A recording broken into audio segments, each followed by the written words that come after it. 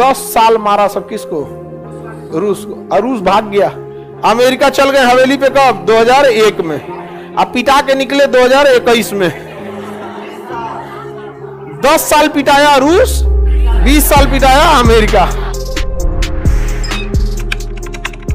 रूस चाहता था अफ़गानिस्तान रूस के फेवर में आ जाए। और अमेरिका चाहता था मेवर मेरे फेवर में इसी चक्कर में अफ़गानिस्तान रूस के फेवर में चला गया। अफ़गानिस्तान किस फेवर में चला गया? रूस के फेवर में चला गया। अमेरिका क्या किया कि रूस को कैसे भगाया जाए? क्योंकि शीत युद्ध चल रही थी। शीत युद्ध में अमेरिका चाह रहा था, लोग उसके साथ आए। और रूस चाह रहा था कि रूस के फेवर में आए। तो अफ़गानिस्तान किसके फेवर में चला गया? रूस के फेवर में। अब अमेरिका को यह बात अच्छी नहीं लगी। अमेरिका ने क्या किया? रूस को भगाने के लिए वहाँ के स्टूडेंट्स को उठाया। और उन स्टूडेंट्स को हथियार दिया और कहा देखो रूस तुम्हारे कल्चर को बर्बाद कर रहा है। इस्लामिक कल्चर होना चाहिए बुरका पहनना चाहिए मदरसा में जाना चाहिए ये क्या कर रहा है इसको मारो। अब स्टूडेंट छोटे छोटे थे सब उन सबको दे दिया हथियार। स्टूडेंट्स को वहाँ के ताली तालिब कहा जाता है। ता, तालिब मतलब होता है स्टूडेंट समझा गया कि नहीं? तालिब मतलब क्या होता है? स्टूडेंट और उसी से बना स्टूडेंट से तालिबान। तो इन तालिबान को स्टार्ट किसने किया? अमेरिका ने। हथियार किसने दिया? अमेरिका ने। और कहा, मारो किसको? रूस को। 1979 से 1989 तक ये सब मार के धज्जी उड़ा दिया सब रूस का। ये तालिबान वाले किसका धज्जी उड़ा दिया सब? दस साल मारा सब किसको? रूस को। और रूस भाग गया। 1989 में रूस भाग गया। और वहाँ किसका हो गया कब्जा? तालिबान का। तालिबान वहाँ कब्जा किया। 12 साल तक। 2011 में एक घटना हुआ अमेरिका 2001 में। 9/11 का हमला हो गया अमेरिका में।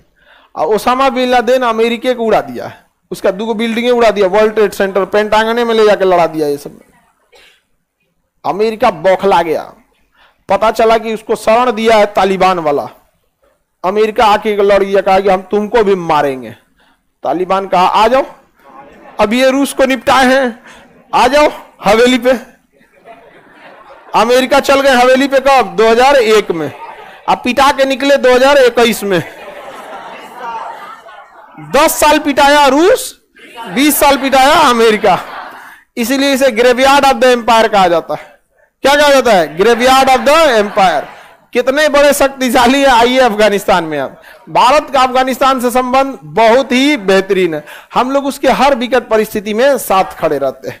समझ गया? इवन की जब भी देखेंगे लोग, तालिबान कब्जा भी कर लिया था तो वहाँ हॉस्पिटल्स में दवाइयों की कमी हो गई थी। आज भी भारत से ही दवाइयाँ जाती हैं।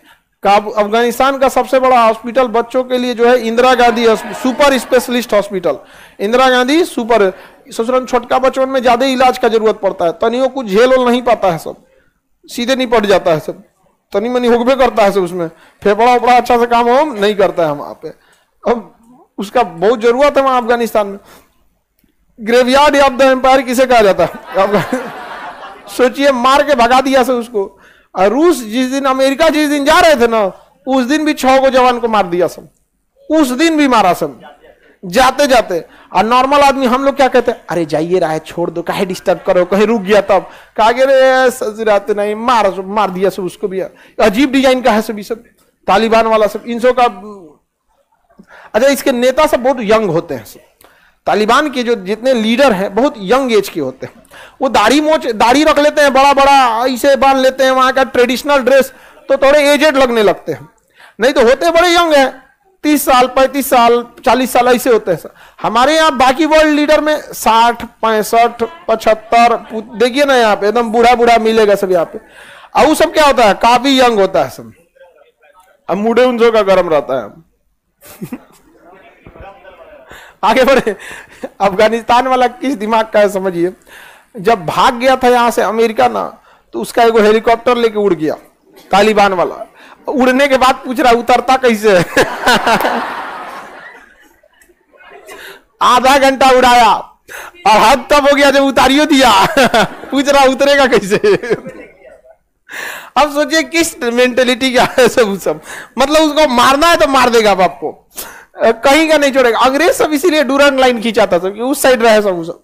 किसी को मारो, उन सब देखिए, आप कब लड़ना चाहते देखिएगा, अगर आपके पास बहुत बढ़िया कार है। सपोज़ दो करोड़ की आप खरीद लिए रोल्स रॉय समझ में आ गया? दो करोड़ की रोल्स रॉय अब सड़क पे चलिएगा तो आराम से चलिएगा।